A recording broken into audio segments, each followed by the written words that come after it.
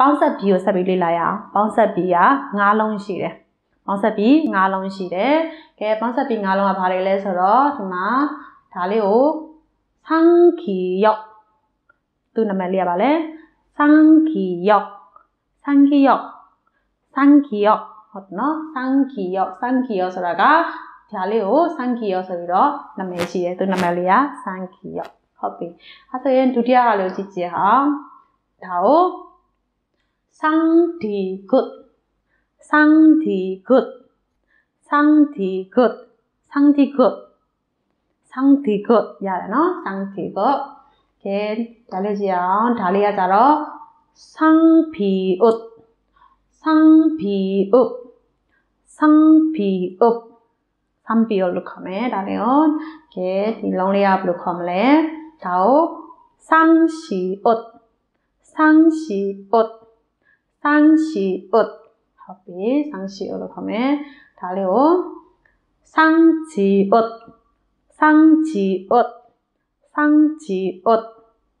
ရတယ်နော်ကဲနာမည်လေးတွေသိပြီဆိုရင်ရာဆန်းဆန်းဆိုတာနှစ်ခုလို့ပြောလိုက်တာပါနှစ်အစုံတွဲနှစ်ခုပေါ့နော်အစုံဆိုတဲ့ဟာပေါ့ပြောလိုက်တာပါရှင်းမှာ kiosk ဆိုတာကိုသိရနော် kiosk ဆိုတာခါပုံစံမျိုး kiosk ဒါပေမဲ့ sun kiosk ဆိုဒီမှာနှလုံးပါတဲ့အတွက်ကြောင့်သူက sun လို့ခေါ်လိုက်တယ်ကဲအဲ့ဆိုရင်အတန်ထွက်ကြည့်အောင်ဒါကို ကကကအဲမြန်မာလိုကပ်အတန်ထွက်ရင်ရပါပြီကနောက်တစ်ခါတတတပပပ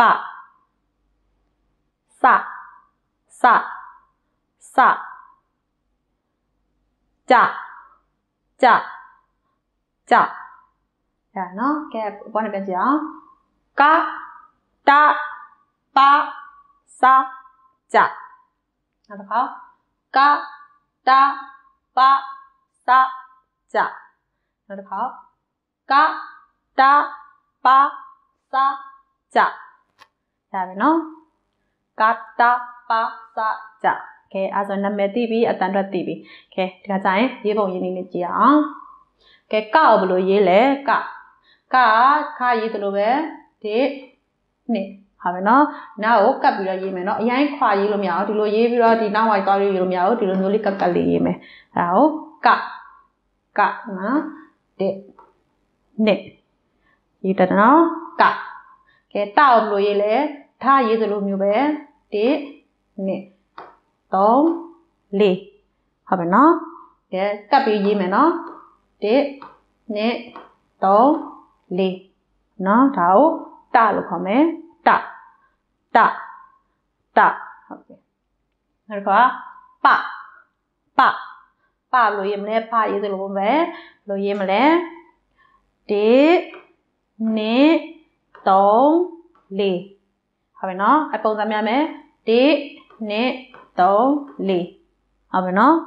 ဆက်တယ်ပဲနော်ဘေးနားကတ်ရေးမယ်နော်ဘေးနားလေးကိုကတ်ပြီးတော့ရေးမယ်ကက်ကလေးရေးမယ်ဒါဘယ်လိုခေါ်လဲပ ပပရေးတယ်နော်ဒီနှစ်3 4ဒီနှစ်3 4အားကြောင့်အားလုံးပေါင်း8ချက်ပေါ့ဟုတ်နော်ဒါဘယ်လိုခေါ်လဲပပอืมဟုတ်ပြီနောက်တစ်ခါစစဟုတ်ပြီစလို့ရေးလဲဒီနှစ်3 4လေးချက်ဆွဲမယ်နော်အကပ်ပြီးရေးမယ်ဒီနှစ်3 4 ဒါကိုဘယ်လိုခေါ်လဲစဘယ်လိုခေါ်လဲစစဟုတ်ပြီနောက်တစ်ခုနောက်ဆုံးတစ်လုံးကြနောက်ဆုံးတစ်လုံးကဘာလဲကြကြဘယ်လိုရေးမလဲဆိုတော့ဒီနှစ်နှစ်နှစ်ဒီနှစ်ဆိုအားလုံးပေါင်း၄ချက်ဆွဲမယ်ကြကြညအရင်ဆုံးဂျားပုံစံရေးရလေကိုစားမူရင်းပြီးမှဂျားရှိရလေအဲ့တော့ဒီနေ့အားလုံးမတော့မယ်ဟုတ်နော်အားလုံးပေါင်း၄ချက် ရနော်ကဲကဲပြန်ပြောကြည့်အောင်ကတာပါစာကြနောက်တစ်ခေါက်ပြောရအောင်ကတာပါစာကြရတယ်နော်ကာတာပါစာကြဟုတ်ပြီအဲ့ဆိုရင်ဒီအားလုံးကဘယ်နှလုံးရှိပါလဲလဲအားလုံးပေါင်း16လုံး ဘီစကောလုံးဆိုတာဘီစကောလုံးကိုအလွတ်ရအောင်ကြက်မှအဆင်ပြေမယ်အလွတ်ရအောင်ကြက်မှသာဒီဟာမတ်မိသွားမှသာတခြားဟာတွေဆက်ပြီးတော့လုပ်လို့အဆင်ပြေမယ်ဟုတ်ပြီနော်ကဲအဲ့ဆိုရင်ဘီစကောလုံးပြီးသွားပြီဆိုတော့